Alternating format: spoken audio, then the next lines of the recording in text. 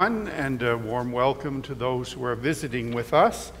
I hope that this worship service will renew and refresh your spirit. Would you please note in the prayer wall that we extend the deepest Christian sympathy to the Hummel family in the passing of Casey Sr. this uh, past Thursday. And uh, the uh, announcement says that Tita is still in the hospital, but she has come home but is still quite unwell. Please keep her in your prayers. The uh, funeral arrangements have not yet been completed, and they will not be for another two weeks. And would you please note the announcement about Zoom choir meetings on Thursdays, and also the announcement about uh, those who wish to contribute a talent to the worship service. They would be able to make an appointment with Lavinia and Corrie for Thursday evenings. And would you please note the uh, biography, short biography of Reverend Dewald Delport, who is our interim moderator, and I believe he's with us this morning. We'll begin our worship service.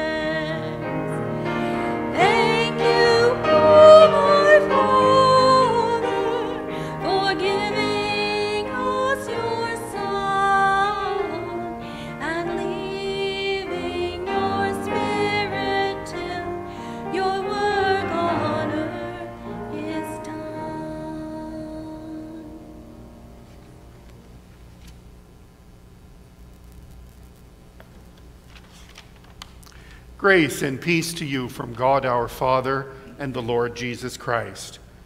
The Lord reigns, the nations tremble. Exalt the Lord our God and worship at his footstool. He is holy. Exalt the Lord our God and worship at his holy mountain. For the Lord our God is holy. Let us pray.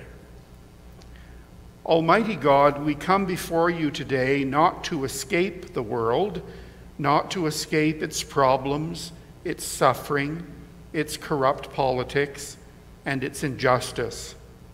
We come to be made wise by you. We come to be strengthened by you. We come to be transformed by you. So that when we leave this place of worship, we may engage with the world as wiser, stronger people, people who will be Christ's true disciples in the world.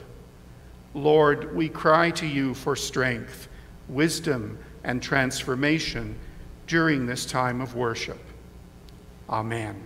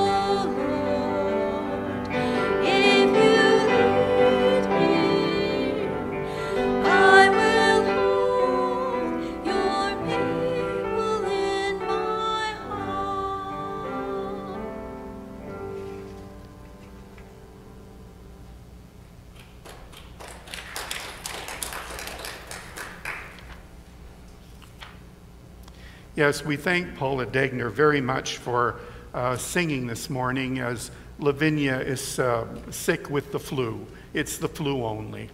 And uh, so we thank Paula. The prayer of confession, let us pray.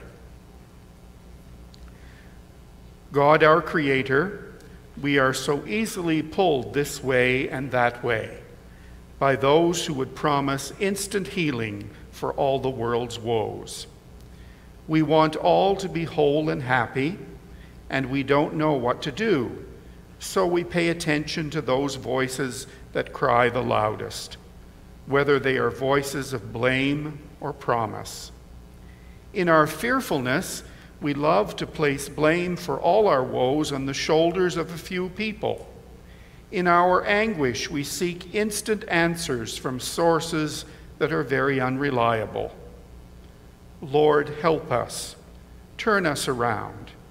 Help us know that you are our Lord and you have provided much for us. You have given to us abilities and understanding and ways in which we can be those who would bring peace and justice. You have blessed our lives. Help and restore our spirits, Lord. Help us truly place our trust in you and to work in ministries that uplift people. This prayer we offer through Christ our Lord. Amen. The mercy of the Lord is from everlasting to everlasting. In Christ you are forgiven.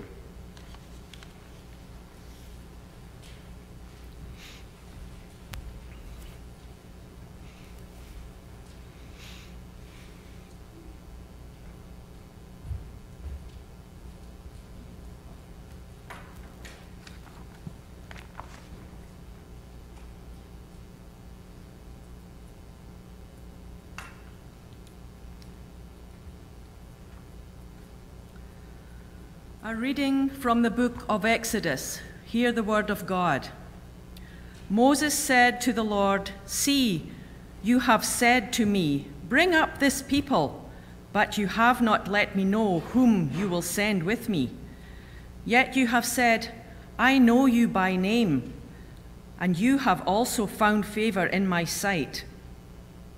Now, if I have found favor in your sight, show me your ways so that I may know you and find favor in your sight.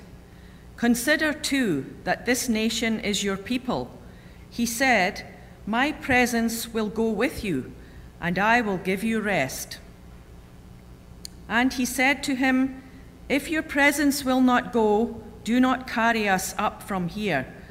For how shall it be known that I have found favor in your sight, I and your people, unless you go with us? In this way we shall be distinct, I and your people, from every people on the face of the earth. The Lord said to Moses, I will not do the very thing that you have asked, for you have found favor in my sight, and I know you by name. Moses said, Show me your glory, I pray. And he said, I will make all my goodness pass before you, and I will proclaim before you the name the Lord, and I will be gracious to whom I will be gracious, and I will show mercy on whom I will show mercy. But he said, You cannot see my face, for no one shall see me and live. And the Lord continued, See, there is a place by me where you shall stand on the rock, and while my glory passes by, I will put you in a cleft of the rock, and I will cover you with my hand until I have passed by. Then I will take away my hand, and you shall see my back, but my face shall not be seen.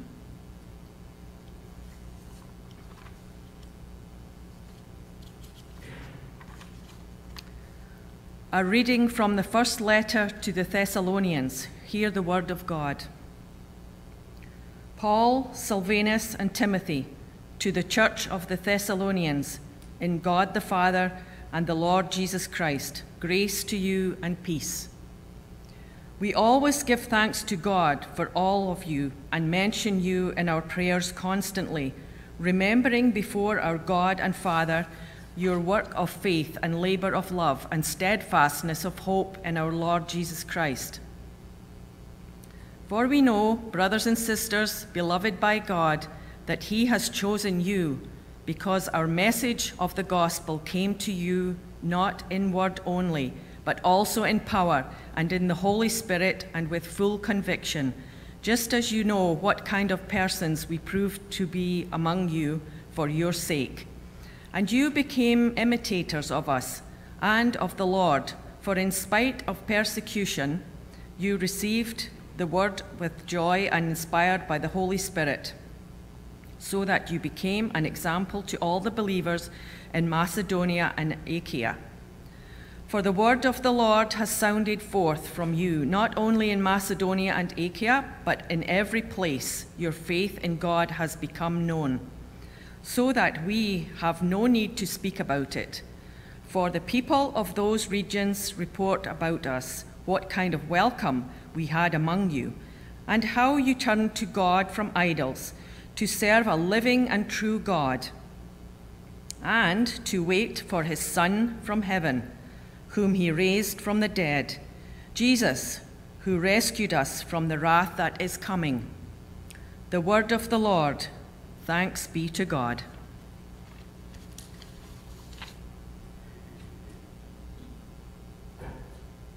A reading from the Gospel of Matthew. Hear the word of God. Then the Pharisees went and plotted to entrap him in what he said. So they sent their disciples to Jesus, along with the Herodians, saying, Teacher, we know that you are sincere and teach the way of God in accordance with truth and show deference to no one, for you do not regard people with partiality. Tell us then what you think. Is it lawful to pay taxes to the emperor or not? But Jesus, aware of their malice, said, Why are you putting me to the test, you hypocrites? Show me the coin used for the tax and they brought him a denarius. Then he said to them, Whose head is this, and whose title? They answered, The emperor's. Then he said to them, Give therefore to the emperor the things that are the emperor's, and to God the things that are God's. When they heard this, they were amazed, and they left him and went away. The gospel of Christ. Praise to you, Lord Jesus Christ. Now, if I would just remember to say everything at the time of the announcements, it might help, wouldn't it? But another thing that I forgot to say is you may be wondering uh, I wasn't here last Sunday because I wasn't feeling well. It was just a sinus infection. I had a test and it was negative, so I'm grateful for that. Lavinia has had a test as well, and she's also negative, just in case you're concerned about the two of us. Let us pray. Lord, may the words of my mouth and the meditations of all our hearts be acceptable in your sight, O Lord, our strength and our Redeemer. Amen. There was a young lady who was uh, trying to soak up the sun's rays on the beach when a little boy in swimming trunks carrying a towel came up to her and asked her, Do you believe in God? Well, she was surprised by the question, but she replied, Why, yes, I do. Then he asked her, Do you go to church every Sunday? Again, her answer was yes. And then he asked, Do you read your Bible every day and pray? And again she said yes. But by now her curiosity was aroused. And then the little boy heaved a sigh of relief and he said, Will you hold my quarter while I go in swimming? now, this little boy had an honest question. He wanted to know if he could trust this woman with his money. The Pharisees and the Herodians had a question about money too, but it wasn't an honest one. They asked Jesus if it was in keeping with the Jewish law to pay taxes to the Roman emperor or not. But they weren't really interested in his answer to the question. What they wanted to do was to discredit him in the eyes of his followers by trapping him in what they believed was a no win situation. The Jewish nation was a theocracy. That is, they believed that their only king was God. They refused to recognize the Roman emperor as their king. Therefore, if Jesus answered the question by saying that it was lawful to pay taxes to the Roman emperor, it would discredit him in the eyes of the Jews who didn't recognize the Roman emperor as their king. He would probably lose many of his followers. On the other hand, if Jesus said that it was not lawful to pay taxes to the Roman emperor, he could have been arrested by the Roman authorities for spreading sedition against the state. Jesus' questioners thought they had him trapped. No matter how he answered the question, they thought he'd be in trouble. They believed that they would achieve their goal of getting rid of this Jesus whom they hated. Now, it's interesting to note who his questioners were the Pharisees and the Herodians. Now, normally these two groups hated one another. For the Pharisees believed that the Roman emperor was an illegitimate ruler of the Jews, but the Herodians, who were followers of King Herod, the Roman representative in Galilee, supported the paying of the tax to the Roman emperor. And although these two groups hated one another, they both hated Jesus. Politics always makes strange bedfellows, doesn't it? Political groups that hate one another will form a union together against a common enemy. And of course, we see that in politics today very often. Jesus' enemies thought they had him trapped, but he deftly answered in such a way that destroyed their devious plot. He asked them for a coin because apparently his pockets were empty. He then asked them whose head appeared on the coin. And they replied, The emperor's. And then Jesus said to them, Give therefore to the emperor the things that are the emperor's, and to God the things that are God's.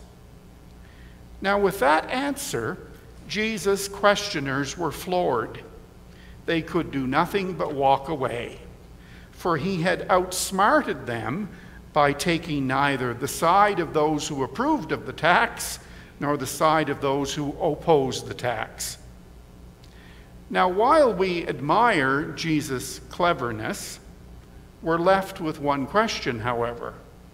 How do we know what belongs to the government or the emperor or the king or the prime minister or the president and what belongs to God? Well, Jesus didn't answer that question. He didn't say to give a certain percentage of our income to the govern- government and another percentage to God. He simply said to give each one what belongs to them. Well, how do we know what belongs to each one? I think Jesus is doing here something that he did in most of his teaching. Instead of laying down a specific rule, he laid down a principle. When you lay down a rule or a regulation, you're being legalistic, of course, and you're telling people exactly what to do, when to do, when to do it, and how to do it. But when you lay down a principle, you give people a truth that they themselves must work out how to apply. For isn't that actually what discipleship is? That's what living a Christian life is. That's what our life's work is. We spend our lives trying to figure out how to apply the truths that Jesus has taught us. That puts a greater responsibility on us than if Jesus had simply laid down a rule. And often Christians prefer rules over principles because rules tell you how to think. But, but principles ask us to do the thinking, which of course requires more of us. But it seems to me that that's how Jesus taught. The Bible is not a rule book. The Bible contains truths that we must spend our lives trying to figure out how to apply to the situations in which we find ourselves. If Jesus gave us specific rules, then I don't think we'd actually be disciples. For discipleship is spending our lives trying to understand, to figure out, to perceive how it is that we be followers of Jesus. God created us with a mind and a heart and he expects us to use both of them to learn how to be his disciples. An elderly woman that I once knew in a congregation, another congregation, once said to me, Here I am, 90 years of age, and I'm still trying to figure out what Jesus meant when he said, Love your neighbor as yourself. I understand it now better than I did when I was 20 but I still haven't grasped it completely. Now, her words are very, very wise. A woman who gets it, a woman who understands what Christian discipleship is. For Jesus laid down principles, not rules, and one of his greatest principles was love your neighbor as yourself. A principle that this woman had spent her whole life trying to understand, trying to figure out, and trying to apply in her daily living. St. Francis of Assisi, my favorite saint, spent his whole life trying to figure out how to be a channel of peace and love in the world. And he wrote a great prayer expressing that challenge. St. Francis understood that love is a principle that has to be applied to our whole lives, a truth that must come into all that we do in our life. But figuring out how to do it is a journey that we spend our whole lives making. What then is the principle that Jesus is giving us in this story about paying taxes? I think Jesus is telling us that we have a double citizenship. We are citizens of our country, in our case, Canada, and we are citizens of the kingdom of heaven. We owe our country many things. We owe it protection from lawless people, a protection that only a settled government can give us. We owe our country or our province or whatever it happens to be uh, public services. Few of us are wealthy enough to provide our own electricity or sanitation or water.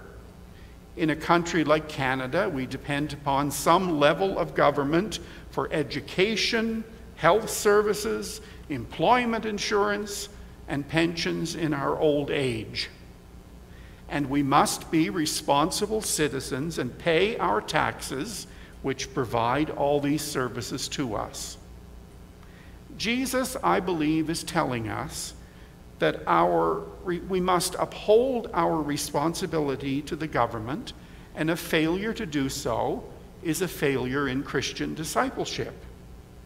We have a duty to the government in return for the services it provides us. The Christian, however, is also a citizen of heaven. There are matters of religion and morality in which we are responsible to God. Now, we could live our whole lives and find that our responsibility to the government and our responsibility to God never clash. But there may come a time in our lives when we become convinced that our responsibility to God must take priority over our responsibility to the government. And where the boundaries of these two responsibilities lie, Jesus doesn't tell us. That is, he believes it's for our own consciences to decide. And when we do decide that we're going to give priority to God over the government, we must do so with the utmost of humility. We must never take the arrogant view that we have the truth and no one else does. We are all travelers on a journey as Christians we must never take the egotistical attitude that we've arrived on this journey. None of us has arrived. We are all arriving. We are all works in progress.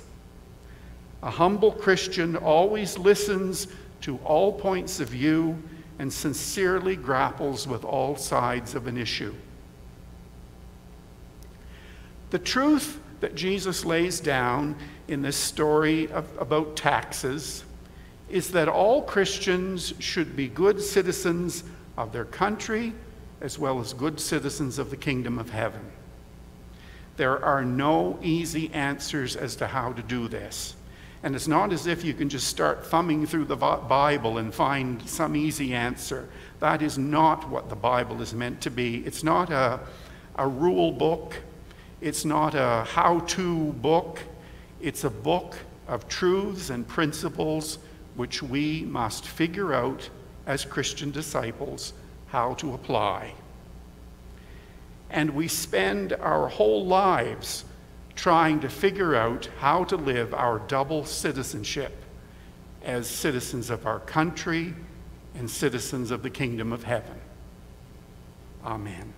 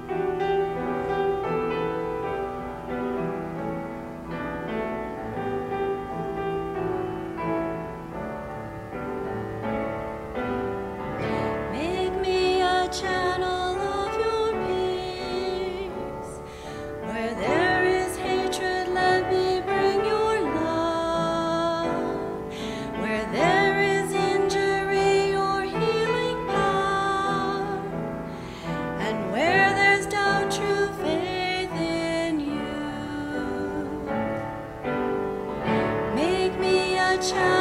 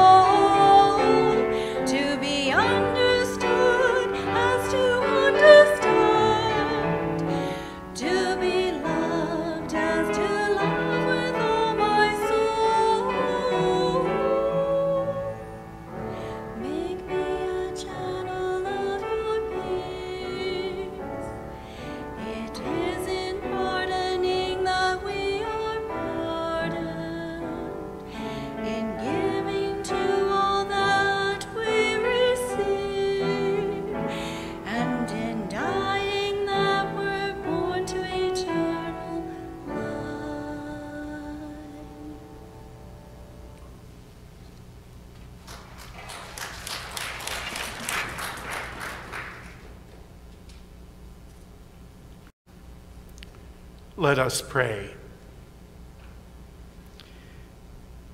We give you thanks, O Lord, that you have created us with minds to think, with hands to do, and with hearts to love. We thank you that you have placed so much trust in us and have made us co creators with you, charging us to make a world of justice and peace for all. We thank you for the times we have been inspired by your Spirit to do your work, to bring love where there was hate, to bring peace where there was turmoil. Holy are your ways, O Lord. We thank you for allowing us to share in that holiness. Gracious God, hear us as we pray for the needs of your people. We pray for our political leaders. Give them the courage to do justice, to love kindness, and to walk humbly with you. Hear our prayer, O Lord. We pray for those who suffer from the consequences of others' mistakes. Preserve them from bitterness and show them a new way forward. Hear our prayer, O Lord. We pray for those who are suffering due to lost income because of this pandemic. Show them a way forward. Hear our prayer, O Lord. We pray for those who are victims of family violence. Heal their wounds through the loving care of others. Hear our prayer, O Lord. We pray for those who struggle with addictions. Give them the courage to seek help and the strength to follow the new direction they are given. Hear our prayer, O Lord. We pray for those who love money more than people. Show them a new way, your way, of divine love. Hear our prayer, O Lord. We pray for those so sure they are right and others are wrong. Raise up people to educate them to help them see all sides to an issue. Hear our prayer, O Lord. We pray for those who are weak and discouraged due to illness. Give them hope and courage. Hear our prayer, O Lord. We pray for those this we pray for the people of this congregation and all people of faith.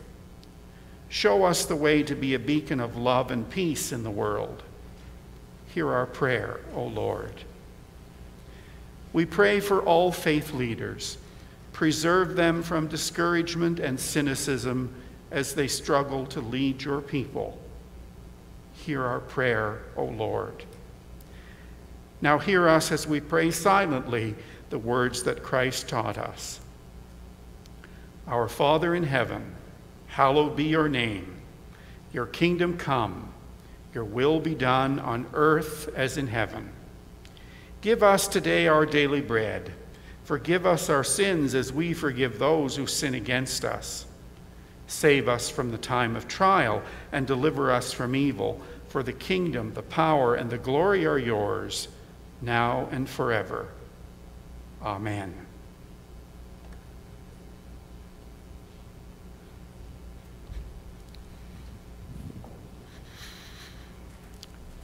The grace of our Lord Jesus Christ, the love of God, and the fellowship of the Holy Spirit rest and abide with each one of you today and always. Amen. Please remain seated during the postlude until the ushers come to help you leave the building.